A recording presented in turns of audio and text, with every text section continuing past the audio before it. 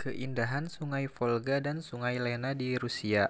Bagi kamu yang menyukai olahraga dan rekreasi, Sungai Volga dan Sungai Lena cocok untuk kamu karena kita di sana bisa menaiki kayak dengan menyaksikan panorama alam yang sangat indah.